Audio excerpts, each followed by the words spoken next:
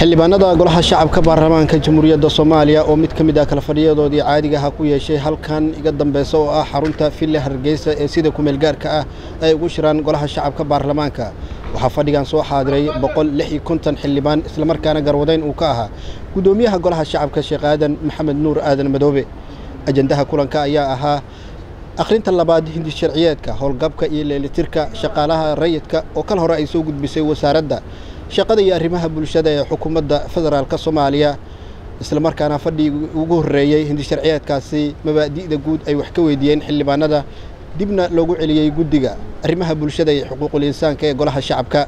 Maanta oo ay ahayd akhrintiisa labaad ayaa waxaa guddoomiyaha guddiga arrimaha bulshada ee xuquuqul insaanka ee golaha shacabka ay akhriyeen waxyaabihii ay ka beddeleen hindi sharciyeedkaasi. Sideedaad farqadiisa koowaad xarafka ta wuxuu dhigayaa caruurtu carruur carruurta wiil inta uu gaarayo da-da siddeed iyo toban sano gabar inta ay ka inta ay ka guursanayso.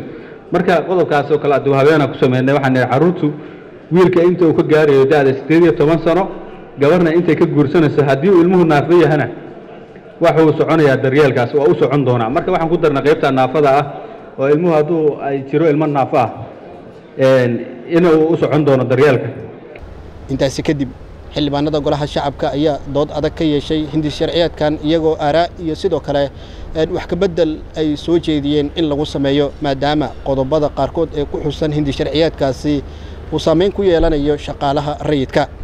Waxaa la soo qoray qofka hadduu dhinto xuquuqdiisa waxa iska leh dadkiisa. Shaqadana ma la siinaayo marka soo xuquuq ku hela qofka haddaan shaqadii oo hataa islaantiisa la siinin ama cunugiisa la siinin ama walaalkiisa ilmihii si uu ku biira la siinin aniga waxaan qabaa sharcigaas sidiisa hore inuu ahaado. Habkee loo bedelayaa qofkaas? Dadkii waa dhammaaday wuxuu ku dhintay asoo shaqo haya qofkii wasaaradda dhexdeedii ku dhintay. Qaabkee loo bedelayaa? Inaan isweydiino waayo dadkaan mas'uulka ka nahay wahay soomaaliya.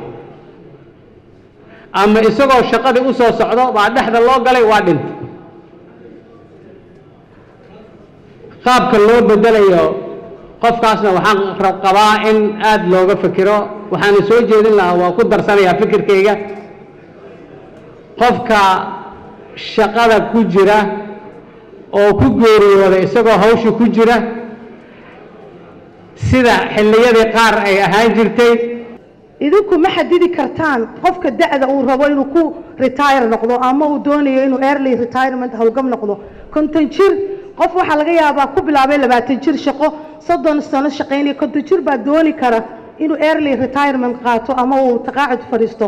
Marka waxaan ka codsanayaa bal inaad tixgelisaan inaydan da ku xidhin oo xafiis kastaba qofkii fadhiya madaxweynuhu digreed ku soo saaro waxay wax u dhibaysaa dowladnimada wax u dhibaysaa intaasaan wala jeedaa maahane maxaa la yidhaha inay jiraan saraakiil sare oo madaxweynuhu saxiixaaye dastuurkaa sheegaaye qodobka uu xildhibaanku cuskado sagaashanaada akhrinaaye. Laakiin waxaan ka hadlayaa waxay tahay agaasimo walba yaan lagu xirin saxiixa madaxweynehe wasaaradda ha la keeno yaan la dhaafin wasaaradda ugu dambeyn guddoomiyaha golaha shacabka sheekh aadan maxamed nuur aadan madoobe oo fadhigan gardaadinayay ayaa soo xiray islamarkaana waxa uu sheegay in afkaarta iyo aragtida xildhibaanada golaha shacabka lagu daro hindi sharciyeedka akhrintiisa saddexaad. Waxaad ogtihiin dad badan oo wakhti badan qaranka u soo shaqeeyey oo da-naqdi waa jiraan oo maaragtay u baahan in maaragtay xuquuqdooda meel lagu sheego oo meel la saaro. Marka sharcigan waa sharci aad u muhiim u ah ummadda soomaaliyeed maanta qof kasta wuxuu ku walaacsan yahay haddii wakhtigaas aad gaarto aad beeshin gasho dowladdiinina weli arrinta meel saarin int maxaa maaragtay adiga yani ku dambaynayaa soomaalida ay ku walaacsan tahay. Marka arrintan guddiga idinkoo aad iyo aad u mahadsan wixii xildhibaanada soo jeediyeen ku darsada oo muhiimka ah wixii aad aad u baahan tihiin su'aalaadna wasiir wasiirka iyo wasaaradda kula noqda point of order miyaan ku siiya?